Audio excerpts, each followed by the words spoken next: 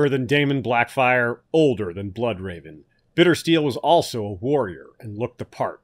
He was only half Targaryen, so he got the purple eyes, but his hair was black. As an adult, he wore a beard, cropped very short, little more than a shadow on his face and jaws. Somewhat of a Conan-esque look to him, but not the Frank Frazetta Conan and definitely not the Arnold Conan, more the Barry Windsor Smith version or the one described by Robert E. Howard. He is tall and well made, but lean and lithe as a panther and angry. No smiles here. Bittersteel was pissed off all his life and had a special loathing for Bloodraven and his mother, who had displaced his own mother as the king's favorite. Thanks to nodiggedy for the art. Check him out at mike-hallstein.deviantart.com for other great pieces. In the first four parts of our series on the Blackfyre Rebellions, we laid out the conditions and personalities that led to the Great Civil War. It was really quite fun. Then we discussed the war itself, and that was fun as well. Now, as you all know, Daemon Blackfyre died on the Redgrass Field, his army was defeated, and that ended the war. But not the Blackfyre cause. Right, this was the first Blackfyre rebellion, and there were four more attempts by Blackfyre descendants to seize the Iron Throne. The reason for this, the reason the Blackfyre stayed organized and capable, the reason they were still to be feared, is Bittersteel. The reason the Blackfyres threatened their Targaryen cousins for 50 more years after the Second Rebellion is Bittersteel. His ability and determination made it all happen. It was he who reclaimed Blackfyre itself on the battlefield. It was he who gathered Daemon's other sons, daughter, and widow and fled with them across the narrow sea before King Daeron's loyalists could capture them. Now, apart from looming large in the history of Westeros, Bittersteel is also a compelling character. The sources, including Martin himself, say that he was motivated by hatred, anger, and jealousy. He drew strength from this, and he was a gifted warrior, leader, and plotter. Now, I think he sounds a little bit like a Sith. Yeah, Darth Bittersteel. like so many of GRRM's historical figures, he has enormous presence despite never appearing live on any page of the canon material. He's a perfect example of George R. R. Martin's ability to present compelling and dynamic characters indirectly. Yeah, Bittersteel is an enormously popular character, in part because we know him so well while simultaneously knowing so very little. The mystery really only makes us want more. Also, in part because he's just plain awesome. what we do know is pretty substantial, and it rules. So, of course, we want more. But let's not talk about what we don't have. Let's get on to talking about what we do have, because it's quite a bit. Right on. It is good to be back. Welcome back to another episode of History of Westeros podcast. We're back in Black Fire. it's our fifth installment here in August 2016, but the first since October 2015. Bittersteel is one of my favorites of all time. I'm almost always enthusiastic when talking A Song of Ice and Fire, as you know. But you might detect that I've taken it up a notch because of my love for this particular subject. Uh, there's a few small challenges in how to frame this episode, but I don't want to bother you with those details too much. Just to say, suffice that it worked out really well. Uh, though we aren't covering Bittersteel's whole life in one episode, uh, part of our enthusiasm for him and the fact that there's just so much to talk about means that we couldn't fit it all in one episode. So there will be more of him in the next one alongside other topics relevant to the Blackfyre Rebellions.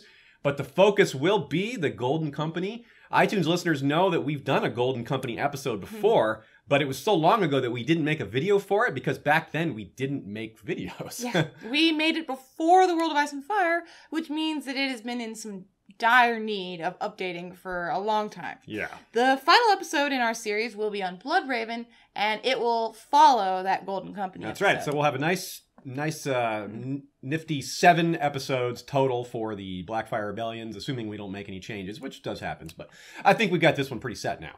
We've got a few helpers to thank. Of course, we have Rhaenys, uh, Rhaenys Targaryen, a frequent contributor and fact checker, and an even bigger contributor than usual this time. She got us uh, a lot of good thoughts and a couple of corrections on dates, as well as a couple other things. Also, help from Stephen Atwell of Race from the Iron Throne. Race from. Race for the Iron Throne. I would be racing from it.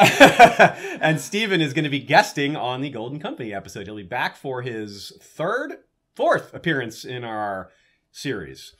Also, thanks to our Patreon dragon rider, Lord Mark of House Joseph, the Snow in Winterfell, and rider of Mazalacartho, a green and white dragon. As you can see here, the hatchling drawing by Ed Scheer. Excellent stuff. We'll be following Mazalacartho's growth throughout various stages. Also, thanks to Jeff Gnarly, the Long Snapper, History of Westeros' first sword. You can check out uh, patreon.com slash history of Westeros for uh, other titles and your chance to get your cool nickname said aloud on our show. Having something to prove is one of the biggest human motivators of all time. Nations have fallen because of a chip on the wrong shoulder. There are dark and dangerous sides to possessing a drive fueled by such. Some confuse privilege with entitlement, jealousy for injustice, anger for righteousness. Left unchecked and given time, emotions like these progress in intensity and become habitual, even addictive. Indeed, people like that are often so characterized by these traits that it becomes an inseparable part of their identity to both readers and characters throughout the history of Westeros. We all have people like this in our lives. It's not just a fantasy concept. People who just seem determined to stay angry, like they aren't comfortable unless there's conflict. Drama can be a distraction from having to live in one's own conflicted, frustrating mind. There are people like this pretty much everywhere. We don't all know people who have the double boon of high birth and hitting the genetic lottery, but we've seen them on TV and in movies. That's a really familiar concept. Yeah, take all those things and consider the two common sides of child rearing nature versus nurture. On the nature side, take high birth, physical gifts, aggressiveness, and other traits important in the martial setting of Westeros. And then you mix them with an extremely ambitious, cutthroat family on the mother's side, and arguably the worst Targaryen king ever for your fatherly influence, and you've got Aegor Rivers. Martin straight up says that he was angry his whole life, and he writes his childhood in a way that explains why. So let's do like Quaithe says. To go forward, we'll have to go back back to the start. Part 1 Early Life 172 to 184. Well, we're going back to Aegor's start anyway. Back when he was a little bitter baby. like Daemon Blackfyre himself, Bittersteel was the product of a union between Aegon IV and a girl who had been stashed in the Maiden Vault. That's right. Aegor's mother, Barba Bracken, lived with Daena the Defiant and her sisters. Unlike Daena, however, who became pregnant with Daemon Blackfyre while living in the Maiden Vault, I mean, she escaped, is why we mentioned that. Aegor was conceived after Barbara was released from her captivity. Very shortly after. Barbara was said to be about 16. Yeah. Aegon would later name her one of his nine great loves, which is a group that does not contain Daena the Defiant, mm-hmm. notably. Now, Aegor was born in 172. This was a fortnight before Daenerys Targaryen, as in the one who married the Prince of Dorne, who had the water gardens built for her, not the Mother of Dragons, obviously. she came a bit later, yeah. Daemon Blackfyre's birth was so scandalous that Baelor the Blessed starved himself to death. Similarly, Aegor's birth enabled his scummy father to threaten his own son Daeron's place as heir. Yeah, I mean, think about these children. Won't someone please think of the children? yes. So, all of these kids had a huge impact just by existing, not by doing anything at all. Yeah, just by being there. They became hugely important politically before they could even talk, let alone have a shred of agency. Not long after his own birth, baby Bittersteel's prospects would have appeared to be somewhat grand. This despite his bastard birth and the fates of Aegon the Unworthy's prior natural children. None of his illegitimate children prior to Aegor have been noted as significant. We don't know hardly anything about them, though surely they were at least a minor embarrassment. Aegor's grandfather, Viserys II, dealt with his lustful son's bastards as best as he could, sending the many girls into the faith to be trained as septas. Yeah, though Aegon was rumored to have had a boy with the Braavosi courtesan, the Black Pearl, this boy is not otherwise spoken of, and it's very likely that he never set foot in Westeros at all. And we can even say that Aegor was the first bastard child of King, A- King Aegon IV, while the other bastards were the children of Prince Aegon. Uh huh. Different timing. It's important to note that. Thus, Aegor would not have been subject to the whisking away treatment delivered by Viserys II, because, well, Viserys II was dead, mm-hmm. and Aegon was the opposite of his father in many ways. Yeah, such as not giving a damn about propriety. The way that he saw it, Aegor was nothing to be ashamed of, especially considering that Aegon the Unworthy really didn't feel shame about anything in general.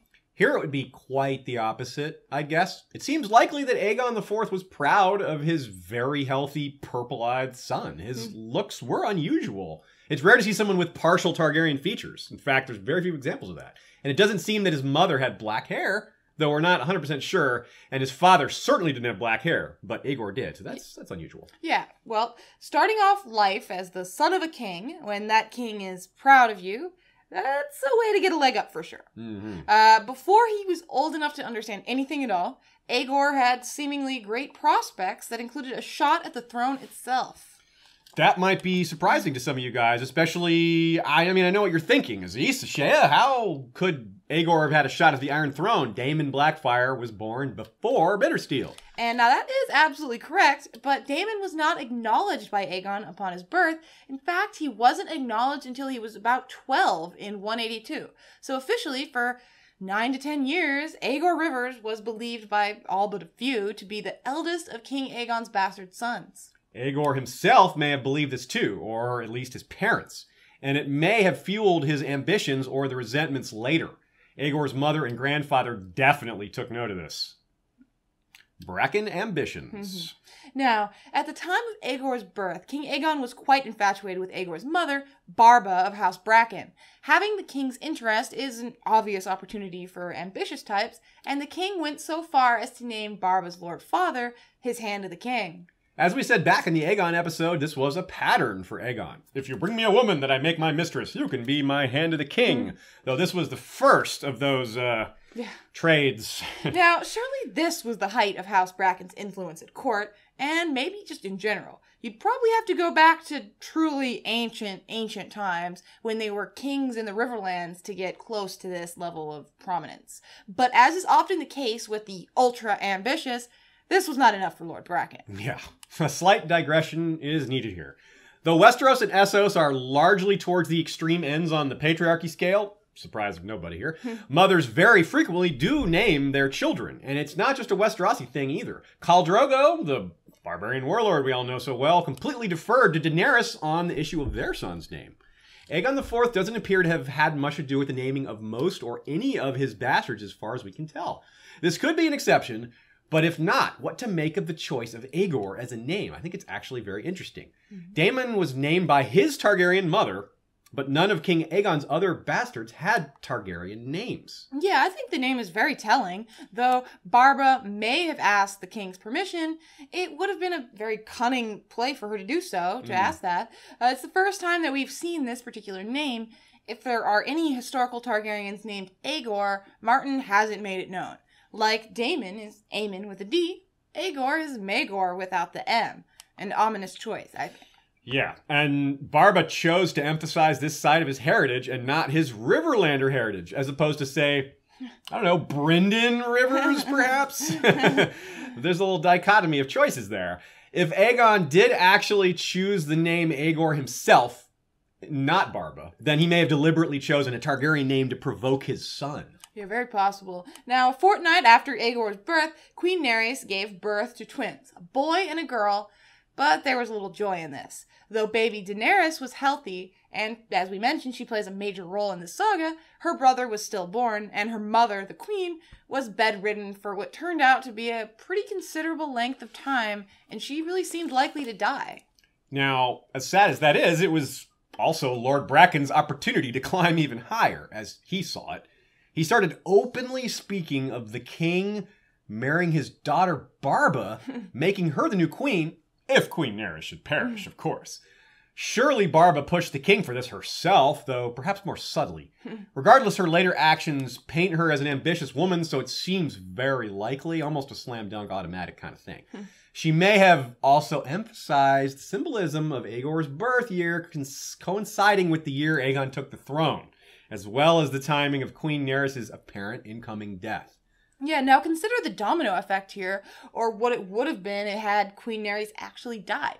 Baby Aegor would have likely been legitimized immediately instead of on the king's deathbed 12 years later. After all, in this scenario, Aegor's mother would be the true queen instead of a mistress. Surely she and her lord father, the hand of the king, would have pushed for the child of their prior union to be legitimized. It seems And- pretty straightforward. Yeah, and that would have placed him in the line of succession, but still pretty far down, still behind Daeron, Baelor, etc., but still a prince. That's a pretty giant leap from royal bastard. He hmm. would have been Prince Aegor Targaryen instead of Aegor Rivers.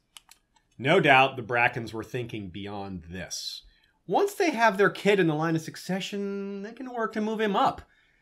Being that far from the throne may seem like a difficult obstacle to overcome because you can't exactly murder a bunch of Targaryen princes. But this is King Aegon the Unworthy we're talking about. The man who legitimized Aegor and his fellow great bastards. The one with no shame, sense of propriety, or tradition. The idea that he would set aside his heir for another is completely believable from him. From another Targaryen king? Probably not. But from him, Absolutely. Yeah, and this is all the more likely when you consider how much King Aegon disliked Dorne, and how he seemed to be disappointed in his own firstborn son and heir, Prince Daeron. Now, you need to remember that King Aegon himself had no say in his son's marriage to Dorne. It happened when he himself was a prince.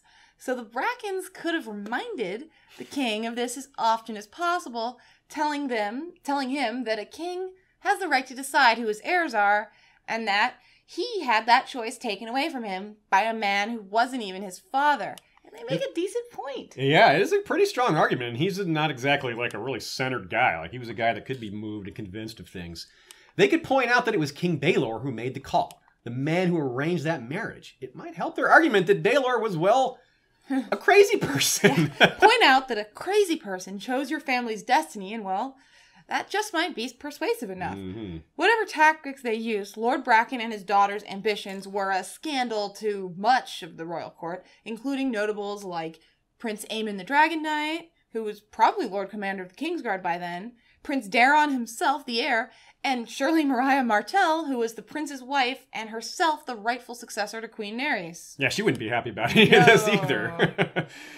when Queen Nerys recovered, it went well beyond scandal. Lord Bracken's plans completely backfired, and he lost his chance for more as well as all that he had gained to that point. The influence of Princes Daeron and Aemon were sufficient, along with the scandal itself, to end the tenure of the Brackens at court.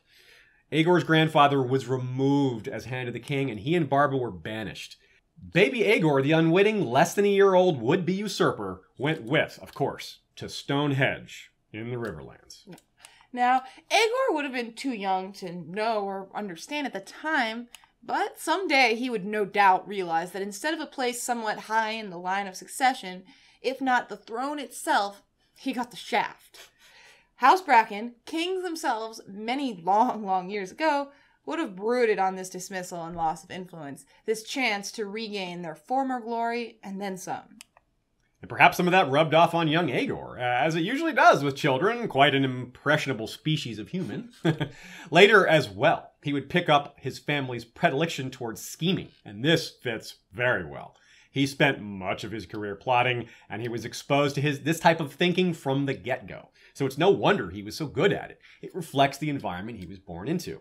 Yeah, Aegor would eventually return to King's Landing, but not for quite a while. Not until his early teens. Instead, his earliest years were spent at a castle held by House Bracken for longer than recorded memory can deduce. His Bracken heritage would be front and center. During that interim, his mother and his lord grandfather schemed at new ways to get back to court. Now, Aegor, as a son of the king, was a pretty clear and obvious tool for them to use in this regard, at least for a time. These might be some of his earliest memories. Meanwhile, events at court gave the Brackens reason to hope and reasons to loathe. A threat to disown. At some point, perhaps a few months, perhaps a year after the Brackens were sent away from court, the king started talk of invading Dorne, his own heir's wife's country. His own grandson Baelor, later Baelor Breakspear, had been born by then and was thus heir after Prince Daeron and half Dornish. None of this seemed to matter to King Aegon, though. what what a guy!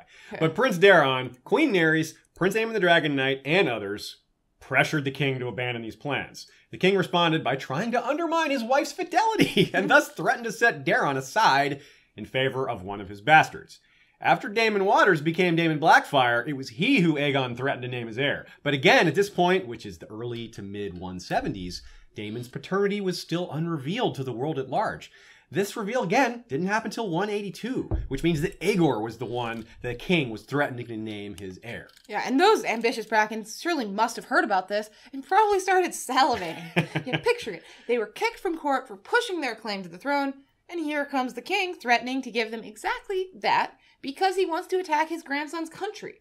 Forget sneaking into the line of succession down near the bottom and working your way up. The king was openly talking about making all that happen in a stroke. Yeah, without them having done anything. it's amazing. And to think, if war with Dorne were a reality, it might cause a permanent rift between the king and Prince Daeron's side of the family, further widening the opportunity to push their claim through Aegor. They may have been extra hopeful given that it wasn't truly the king's decision to send them from court. It was the prince and his people who talked the king into it. But there may not have been much they could do but wait and hope. The unworthy king would either follow through on his threats or he wouldn't. Then again, it's likely that Lord Bracken, the former hand, still had men that he could influence at court from afar, who could, in turn, encourage this war with Dorne. So he may not have been totally on the sidelines after all. That's a good point. Aegon's court was awfully corrupt, don't forget. He surrounded himself with flatterers and, and greedy people. Mhm. Either way, King Aegon did eventually try to invade Dorne. But storms took out his ships, and his siege train containing the seven wildfire shooting dragons was destroyed en route. It was so inept that one wonders if some encouraged the king to do it despite knowing it would likely fail. I mean, really? You're gonna take dragon wildfire shooting machines through the Dornish mountains? I mean, that's just nuts.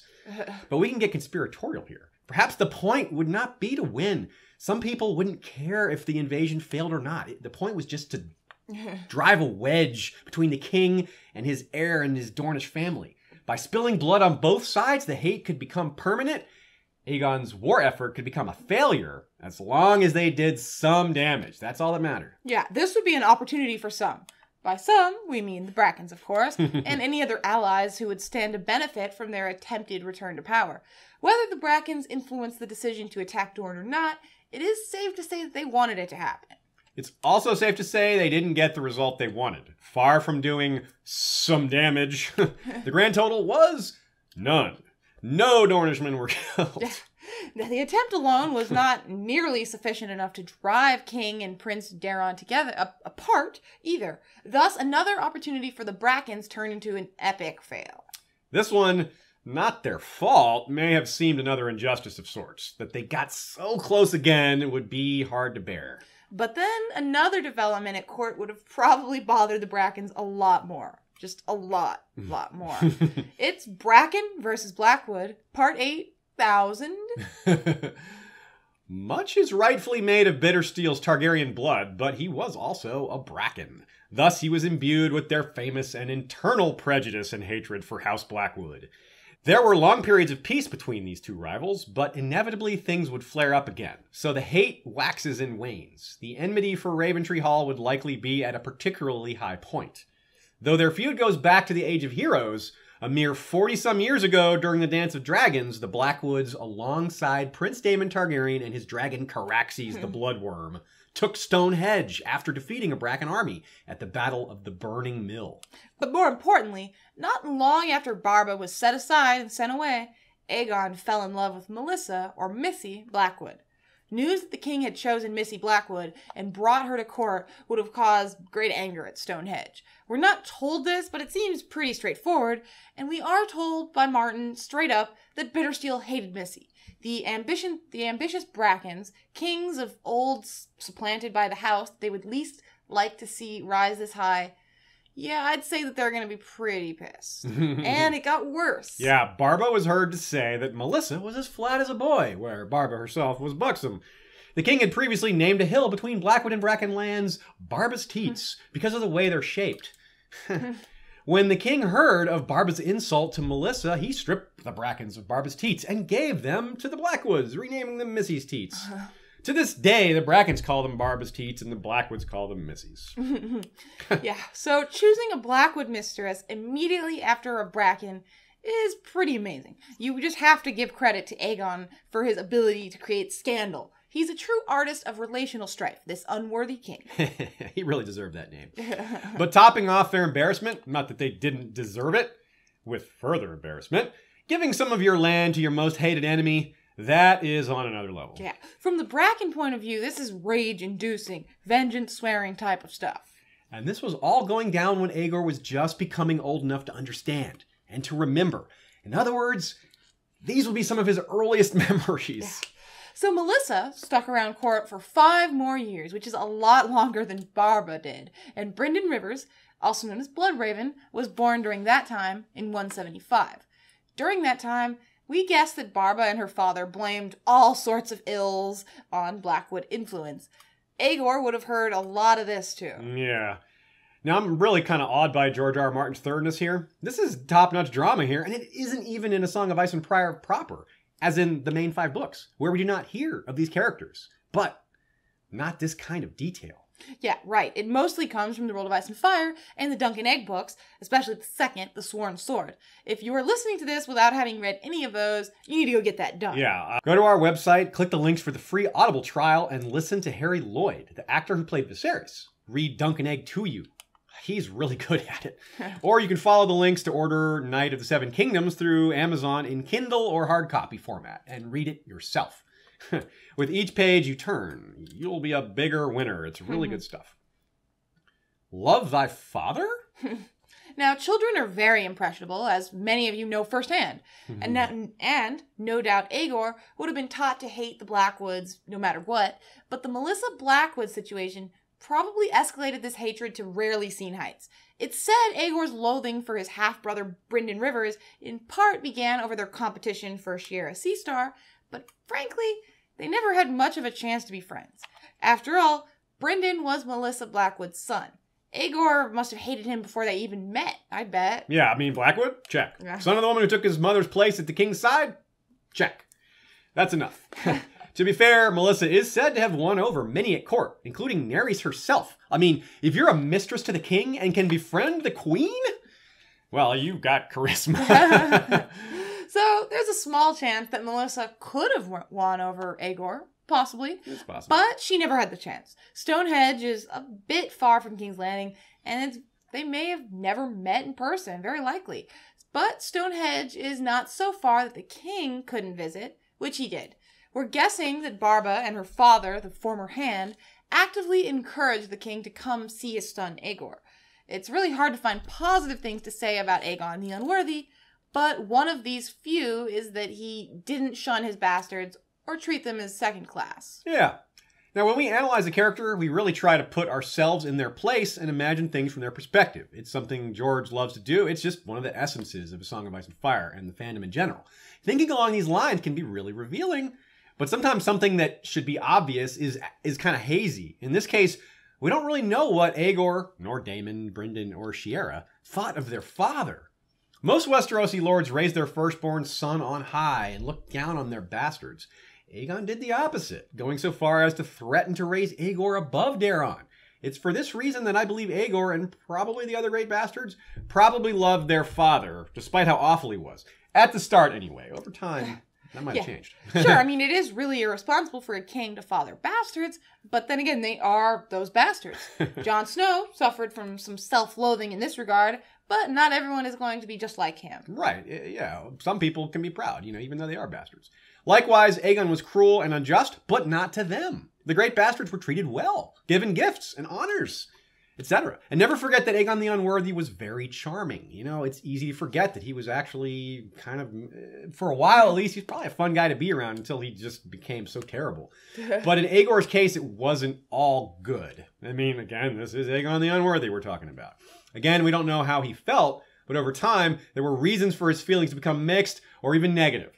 He wasn't able to see his father and was probably told by his mother and grandfather that this was the fault of Daeron, Nerys, Aemon, and those who had them kicked out of court. They would not blame Aegon himself, I think, at least not at first. So Aegor would probably have the common desire that children have to know both of their parents. In this case, his father is the king, so that's a huge deal to a young boy, right? So the visit may have meant a lot to young Aegor, who would have been about five at the time. Yeah, but his family had an un- had an ulterior motive. Aegor was perhaps the lure, but his young aunt was the bait. Mm. Bracken back at court. That's awful. Bracken back. Very good. From the Targaryen Kings, The World of Ice and Fire, Bethany was groomed by her father and sister expressly to win the king's favor and displace Missy Blackwood. In 177, she caught Aegon's eye as he visited at Stone Hedge to see his bastard son Aegor. By now, the king was fat and foul tempered, but Bethany delighted him, and he took her back with him to King's Landing. Bethany and Barba's lord father, the former hand, went with. Aegor and Barba did not. And Melissa, well, we don't actually know what became of her, but either way, Melissa was gone, and the Brackens got one over on the Blackwoods again. So, what did five year old Aegor think of his Aunt Bethany, of his grandfather? If he liked them, he wouldn't have liked what happened next. It may have changed his opinion on his father, eh, or perhaps this too was blamed on others. Bethany was executed after an affair with Sir Terence Toyne of the Kingsguard, as was Sir Terence himself and Barbara and Bethany's father, Lord Bracken, Aegor's grandfather. Yeah, House Toyne famously attempted to avenge their brother by trying to kill Aegon the Unworthy, they instead killed Prince Aemon the Dragon Knight, and the Toyne family was stripped of their lands and titles, with the survivors fleeing to Essos and later turning up in places like the Kingswood Brotherhood. Much later, a Toyne, Myles Blackheart, will command Aegor's Golden Company. Now remember that point for later. It's probably not a coincidence that a house, exiled to Essos, with a, with a grudge versus the Targaryens, hooked up with Aegor, someone exiled to Essos with a grudge against the Targaryens. but this was around 178 or so. So the Toynes will have to hang out in Essos for quite a while before Bittersteel comes along. Mm. Like Bitter Mother, like Bitter Son. Mm. In 178, six year old Aegor has just lost his grandfather and young aunt all of a sudden, and his family is back in disgrace so quickly after having their fortunes restored. Barba would probably no longer have hopes of ambition ever again. And who knows what the new Lord Bracken would have even thought of all their prior machinations. It may have been an embarrassment to the other Brackens, though they did fight for Daemon, so there's that. Yeah. Now, Lady Barba was so close to having it all, but it fell apart. Her chance was gone forever, and her sister and father were dead. Barba probably now hated her son's father. At a young age, by 172, she was the king's lover and a heartbeat away from being queen. By 178, all of those hopes were dashed and gone forever. Yeah, the shaman scandal probably meant that she would be forced to marry someone far below her station, or remain unmarried for all her days. Despite all that had happened, she was only 22 or so by this time, and she had no future to speak of anymore after such promise just a few years before. It's easy to guess that she was angry and full of hate, all amplified by the sense of loss that comes with the death of close family. It's possible, probable actually, especially given such time passing, that young Aegor picked up on his mother's feelings. I mean, it's what children do. Mm. Barba passed to young Aegor this bitterness. Yep. And time wouldn't make things look any rosier for Barba. Four years later, King Aegon gave Blackfyre to 12 year old Daemon Waters, knighted him, and revealed to the world that he was his son. Now, Barba may have already known this. I mean, mm. it's possible that she was friends with Daena the Defiant, who was Daemon's mother. After all, the two lived together in the Maidenvault, and it seems likely that at least Barba was influenced by Daena, who is 10 years older. Yeah, she probably looked up to her. Either way, Barba and Aegor both were being surpassed even more than they had been before, being pushed farther away from the center of power. Others of seemingly similar station were getting greater honors and preferential treatment. The great ancestral sword of House Targaryen is given to Daemon after winning a squire's tourney, and he's knighted, and all the realm hears how proud he is of his son. Daemon gets all that. Is Aegor even a squire by this point? No, I'd guess that he was, maybe to the new Lord Bracken, perhaps but he probably wasn't allowed in that squire's tourney, not even given a chance. So, of course, young Aegor may have had plenty of his own reasons to be bitter, his mother's influence aside. By this time, 182, he'd be about 11 and old enough to understand how close he had been to the throne and that he was still King Aegon's oldest male bastard. That is, until Daemon Waters took his place. Like his mother, he learned that sting at a rather early age. Mm-hmm. Now, we were reminded of a story told by Martin at Balticon. His mother came from a formerly rich family, the Bradys, that had a long pier named after them and a fancy house. George would walk by these things and say to himself, why don't we have that house? That dock used to be ours. I felt like an exiled member of a royal family. Maybe that's where some of the Dany stuff came from. Definitely shades of Bittersteel here, too. That should have been my sword. and I doubt they'd be comforted by the fact that, hey, at least this time it's a Blackfyre, not Blackwood. The Brackens weren't even getting a little FaceTime, let alone dynastic swords. right? It's safe to say that his father, after executing two Brackens, as well as growing so fat that he couldn't stand without aid, never came to visit again. And it doesn't really look like Aegor returned to court until after the unworthy passed. So let's move on to part two The Great Bastards at Court, 184 to 196. It was two years later. Daeron, now King Daeron, invited Aegor and the others to court following his father's death. Now, a suspicious mind might have well suspected a trap. Why would Daeron want to invite the boy who was almost pushed ahead of him in the line of succession? The Brackens were rivals, if not enemies, of King Daeron back when he was Prince Daeron. The Martells would likely bear a grudge as well.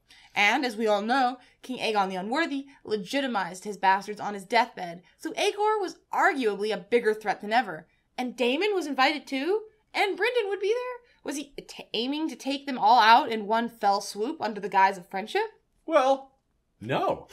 King Daeron was a man of faith, mercy, and peace. His biggest influence by far was his uncle Baelor the Blessed, not his father, Aegon the Unworthy. So he didn't have any of them killed, nor does it appear they were even held against their will. Yeah, and they were still somewhat young at this point. It's not clear when Daeron invited them all to court, but if it was soon after Aegon's death, which is pretty reasonable to assume, it was in around 184 to 185. And at that time, Daemon was 14 to 15, Aegor 12 or 13, Brynden 9 or 10, and Shiera was probably around 3. One big happy family. Right. Blackfyre backfire. Daeron probably hoped to befriend his younger legitimized half brothers and sister, plus any others not named in the histories. He may not have thought it likely, but he may have been thinking along the lines of if I can't make them into friends, at least I'll be keeping my enemies close. This plan did not work, and in fact, it may have helped create the very problem that Daeron was trying to prevent. By returning to King's Landing, Aegor had the chance to pursue ambitions long desired but denied to his family, and to make connections with important figures who could help advance those aims. If Aegor had been left at Stone Hedge by Daeron, he may never have become close to Daemon Blackfyre. And without that, Aegor probably never marries Daemon's daughter, let alone convinces him to rebel. Likewise, he would not have met Shiera Seastar, so falling for her wouldn't have happened either. Nor would he have developed such a rivalry with Bloodraven, though he'd still hate him since he was a Blackwood, but still, it would be less intense. When Bittersteel comes to mind, I suspect most think of his prowess as a warrior and commander, his unwavering devotion to his goals, his endless anger, the hmm. Golden Company, but he was also an effective manipulator and an expert intriguer, which may or may not be a real word. intriguer, I, I, think that's a word. yeah, right. So he's perhaps not on the level of a Varys or a Littlefinger, but maybe he was. Yeah, he might have been. Throughout this episode, you'll see some pretty stunning examples of this. And in the next episode, too. A lot of things that strings he seemed to be able to pull, maybe, you know? Some of it's kind of hard to tell, but it seems he was really, really good at it.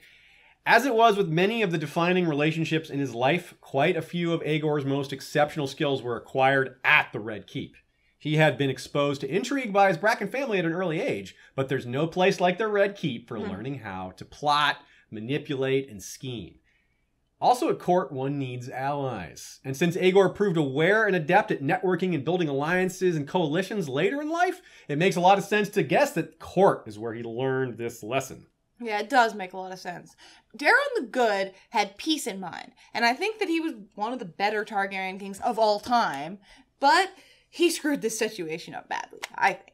Instead of getting close to Daemon and Aegor, they got close to each other. now, Daemon and Aegor would have had a lot in common, but I have to wonder how it went at first. Was Aegor angry that Daemon had taken his place as the eldest bastard son of King Aegon? Was Daemon's legendary charisma so powerful that even Bittersteel's equally legendary anger swept was swept aside? We just don't know. But they grew close, whether right away or over time. I mean, it's easy to see why, at least on paper. They were half brothers, of course, and very close in age. Both grew to hate that they were bastards, despite being legitimized, and both were warriors. Both were men of the sword. Learn from the best. How did Bittersteel become such a badass? Well, he was tall and strong, that helped a lot, but that's clearly genetics. If we're talking about learned skills, things he worked for, we credit two main sources.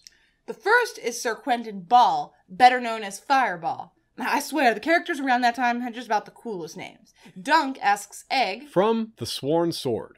Why did they call him Fireball? For his hot head and red hair. Sir Quentin Ball was the master at arms at the Red Keep. He taught my father and my uncles how to fight. The great bastards, too. His father and uncles includes Maekar and Baelor Breakspear, and he would later become Daemon Blackfyre's top general. So while the master at arms for the Brackens was probably no slouch, there's pretty much no chance he was even close to Fireball's level. In other words, Bittersteel learned from the best. He also learned with the best. It's hard to get better at anything competitive when you're never actually tested. No doubt Fireball knew this and had them train against each other. He is the second source that we credit. There is always someone quicker and stronger. Sir Roderick had once told Jon and Robb, he's the man you want to face in the yard before you need to face his like upon a battlefield. Now that was from Jon 6, A Dance with Dragons. And basically, in other words, Aegor's teenage years were spent learning to fight against the likes of Baelor and Maekar, Daemon and Brynden. That's quite a collection of talent. Aegor was in the middle of this group in age, meaning that he was more likely to have fought them all. Daemon may not have sparred much with Maekar, for example, since the age gap was just too large. Right. Daemon alone turned out to be one of the best ever, and Bittersteel spent many of his teen years practicing against him. Accepting Daemon, fighting against these particular men would continue for Bittersteel in later life as three of the, these four that we mentioned became enemies. So instead of play fighting with those men, the fighting would be real. But they would already know each other a bit, like they know each other's tendencies. It's pretty interesting. Yeah, the scheming would be real too. Mm-hmm. Bittersteel honed his considerable intrigue skills by going up against Bloodraven his entire adult life. Bittersteel was constantly facing an opponent at least as skilled, possibly more so than himself, all the while outgunned in the resource department. Yeah, one wonders whether they schemed against one another as teenagers, right? the Blackwood Bracken prejudice would be there, and I bet they tried to hurt each other for real with these wooden practice swords. and all this was before they started fighting over Shiera Seastar. This could not have happened early on because of her youth. From the Targaryen kings in the world of ice and fire. Serenei was the most beautiful of Aegon's mistresses, but she was also reputed to be a sorceress. She died giving birth to the last of the king's bastard children, a girl called Shiera Seastar, who became the greatest beauty in the Seven Kingdoms. Beloved of both her half brothers, Bittersteel and Bloodraven, whose rivalry would ripen to hatred. Even if the two of them started chasing her when she was as young as 12? Well, that wouldn't be until the early mid 190s. I guess about 194. Right now, we're still in the mid 180s when Shiera would have been a newcomer to walking. Teen Bittersteel. During that interim before Shiera, Aegor and Brynden would have been growing into manhood themselves, alongside Daemon and Baelor. But also other notables like Baelor's brothers, the future kings Aerys I and Maekar, Rhaegel, who was probably insane, mm-hmm. and other young notables at court. Which is important to remember. Much is made of Aegor versus Brynden, and rightly so, but this was a diverse group of nobles at court. More diverse than ever, most likely. Yeah, but it was also yet another way in which Daeron's mercy worked against him. Court is the only place in Westeros where you can consistently find important members from houses all over Westeros. Aegor proved to be effective at coalition building, as we said before, and there's just no way he could have had access to so many lords and ladies if Daeron had just left him mm. simmering at Stone Hedge. Remember that one of the complaints against Daeron the Good was the influence of the Dornish, who had been a rival kingdom for so long. Only recently, three years into Daeron's reign, did his sister Daenerys marry Prince Maron Martell. Yeah, Aegor would have been around 15, almost certainly not yet a knight himself. Daemon would be unhappy about this marriage, and I would really love to know what Aegor had to say to him. Somehow I kind of doubt that he was offering comfort, but he may have shared his brother's sense of injustice. Yeah, there was still a lot of bad blood between various Dornish houses and those in the Reach, Stormlands, and elsewhere. Yet nobles from these houses coexisted at Daeron's court. Aegor no doubt formed important connections with other young nobles, connections which later turned into Blackfyre supporters. We don't know which houses fall into this category, but there are a few I can imagine fitting quite well. So, how did he do this? Well, if he was truly an expert manipulator, we can guess that he took advantage of the bad blood around court. As someone who grew up in the Riverlands, he was a little less likely to have prejudice against the Dornish, but he could pretend to feel that way. Yeah, or maybe he really did. Uh-huh. and or he could play on the Dornish sense of unwelcome. As a bastard himself, he could claim to know how they feel. I imagine he was really good at appealing to other people's grievances because he nursed his own so much. He was practiced at it. Friends now, allies later. So, who were all these people he interacted with at Daeron's court? We can only guess for the most part, but we've got some good ones. Yeah, I think there's a lot to be said for the connection that Aegor seemed to have had with the Ironwoods. So perhaps they were one of the Dornish houses with an important member at court. Now, it's pure speculation, but it makes quite a bit of sense. With the Martells rising so high, the Ironwoods would likely side, or at least consider siding with, anyone who could take them back down a peg or two. Yeah. From the Soiled Knight Dance with Dragons. It's home they want as much as gold. Lord Ironwood knows that as well as I do. His forebears rode with Bittersteel during three of the Blackfyre rebellions. That would be the first, third, and fourth rebellions. So the Ironwoods were clearly very devoted to the Blackfyre cause, and though they had reason to unseat their rival Martells, which from their point of view is the most important thing there is, the connection could run deeper we must consider that this devotion also originates in part from friendships made with Daemon and Aegor at Daeron's court many years before. Yeah. Later in life, Bittersteel's connections at court would play an enormous role in the wars to come. Even from far away Essos, long after Daemon's death, men in the Red Keep did Aegor's work. Knowing someone and having basic insight as to their personality and ambitions is a huge leg up. That alone can count for a lot, but a real friendship can change the course of a war or determine whether one even starts in the first place. Hmm. It's also an oft underappreciated factor in deciding who sides with whom. Stannis tells Davos that choosing between his brother and his king was one of the hardest choices he ever had to make, which is another way of saying that had his own house not been one of the rebel houses, Stannis would have fought for. Hmm. it was loyalty to his blood, his house, his brother that drove him to break his oath to House Targaryen. But that's a blood bond, and blood is one thing, while friendships are another. Some are stronger than blood, or close enough, and often they have a huge impact. In terms of A Song of Ice and Fire, there's probably no better example than Ned Stark and Robert Baratheon. Robert would likely never have considered Ned Stark for Hand of the King had he not known him so well when he was younger. And Robert makes it clear that he needs someone that he can trust, and Ned is his top pick. That was not flattery, that was just the plain truth. Ned Stark absolutely was the man Robert could trust the most in terms of loyalty. This is entirely because of their past relationship, which started at court, the Eyrie, that is, not King's Landing, but still at court. Yeah, a court. we have no idea who was friends with whom at Daeron's court. We only know which sides a lot of them, not nearly all, ended up on. But it's still something that we wanted to draw a lot of attention to the fact that these friendships and bonds of loyalty most certainly did exist, and these early years at Daeron's new style court were likely the most formative in that regard. In turn, these connections would have had a lot to do with who was for the Red Dragon and who was for the Black. I like to think Bittersteel understood this fairly well, even at a young age, because it seems to have been a mistake his own family made, and he could have learned from that. His mother and grandfather made their move to supplant the queen when she was on her deathbed, but they lacked the alliances at court to survive the backlash against them when it failed. And they may have lacked the alliances needed to pull it off, even had the queen not survived. So we see the power of friendships and blood relationships and their power and potential to change the Game of Thrones. There is, as there so often is, however, a flip side to this coin. As much as you can expect people to choose one side or the other based on what side their friends and allies have chosen, you just as often see people choose sides based on what their enemies have chosen. and just as the friendships made early in life can be defining, well, the same can be said for early life rivals and early life loves. Part 3 Becoming Bittersteel. Shiera Seastar.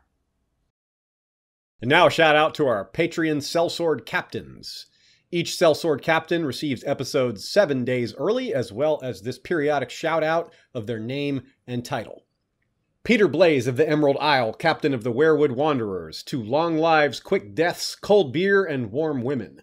Daegron, Marshal of the Axe, captain of the Red Tide, resistance is futile. Garion Pike, wielder of Grave Embrace of Valyrian Steel Axe, and captain of the Iron Wave, Iron's Kiss is eternal. Qyron Kalsbane, captain of the Stone Shields, the torrent breaks upon the stone. Captain Kithik Deadeye of the Scarlet Longbows, pierced by darkness. Jael, captain of the Burning Shadows, victory in ashes. And Kerbushard, captain of the Walking Drum, Yol Bosan, may there be a road. And Lady Nightwind, captain of Lucifer's Handmaidens, bleeding stars, bleeding foes, forging Lightbringer one victim at a time. The Kingbreaker, a dance with dragons. Daenerys Targaryen loved her captain, but that was the girl in her, not the queen. Prince Rhaegar loved his lady Lyanna, and thousands died for it. Daemon Blackfyre loved the first Daenerys, and rose in rebellion when denied her. Bittersteel and Bloodraven both loved Shiera Seastar, and the Seven Kingdoms bled. The Prince of Dragonflies loved Jenny of Oldstones so much that he cast aside a crown, and Westeros paid the bride price in corpses. So Barristan is ruminating on famous romances that caused major problems for the realm, and two of them play out at Daeron the Good's court. Not quite at the same time, probably about a decade apart, but still a very interesting tidbit. Now, we covered Daenerys and Daemon in prior episodes, so we know Barristan is exaggerating when he says that it was the cause of the war. Really, it was one of many. Likewise, the Blackfyre rebellions would have happened with, without Shiera Seastar's presence. But nonetheless, Bittersteel and Bloodraven's competition for her favor was still a very, very important part of their dynamic, or so we're told by Barristan and others. Yeah. As we guessed earlier, Aegor and Brynden probably began to fight over Shiera around 194. By then, he'd be Sir Aegor, 22, and by Westerosi standards, well into manhood. It would be cool to learn who knighted him. I guess Sir Quentin Ball, but Daemon Blackfyre is an interesting possibility as well. Now, we don't have any details nor much insight into Shiera, especially at such a young age. Other than that, she was incredibly beautiful. She was supposedly into the occult, but at 12 ish, maybe not that early. But maybe.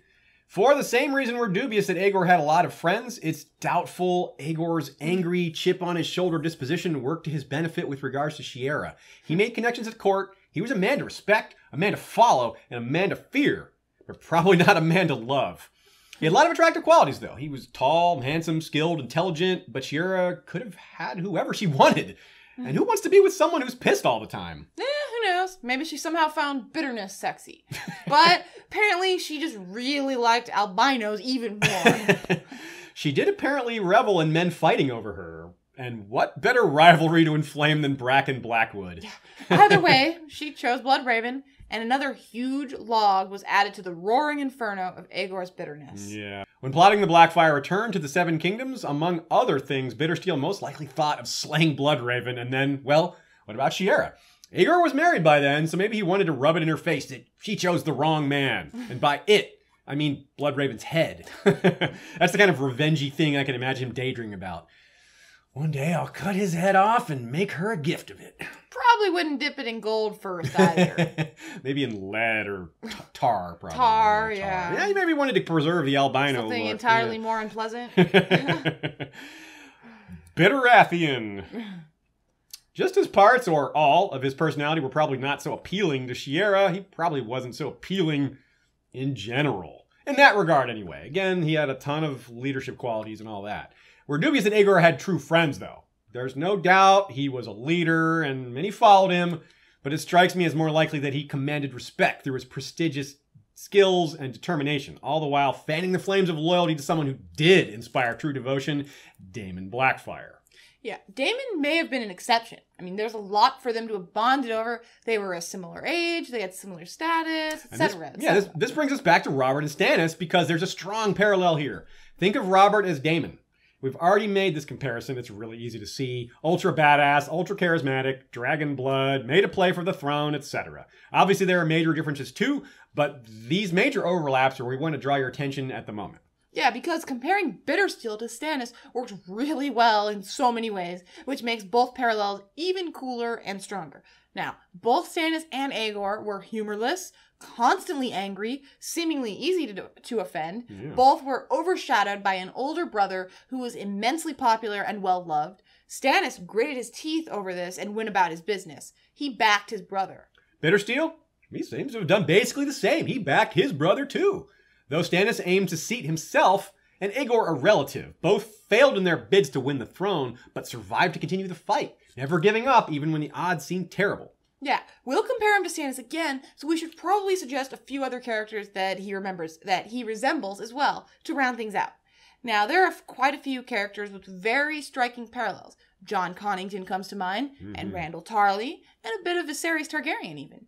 Just a bit. Now, we'll explore these comparisons more throughout the episode. Aegor in the middle. You can start to see a few middle child syndrome things happening here. Aegor wasn't technically such, but among the three male great bastards, he was. He's not as handsome, charismatic, or skilled as older half brother Daemon, as well as with lesser blood, and not as favored as younger Brynden, who was never sent away from court that we know of. Hmm. And Brynden and Daemon actually knew and spent considerable time with their mutual father, while Aegor barely knew him. Daemon's mother was another Targaryen, sister to the famous King Daeron the Young Dragon. And Brynden's mother was loved and well remembered by all the king's court. Where Aegor's was the overreaching and shamed Barba Bracken, whose family was also well remembered by all the king's court, but for a scandal that led to the executions and torture. Uh, Daemon, of course, received the famous sword Blackfyre, and at some point, perhaps not until after the rebellion, Brynden got Dark Sister. They got sweet pieces of steel, while Aegor got bitter steel. Oh, Oh, yeah. Brynden had a private bodyguard, his raven's teeth. That he definitely had before the Redgrass Field, since they fought in the battle with him. So, his elder brother had more advantages and natural born greatness, and his younger brother had more privileges. Both of their mothers were held in higher regard than Aegor's at court and in Westeros at large. Basically everything. Yeah. it's amazing how many extremely compelling reasons exist for Bittersteel to be who he is. There is a litany of reasons for him to be resentful. We don't know when he actually got the name Bittersteel, but man, it describes him well.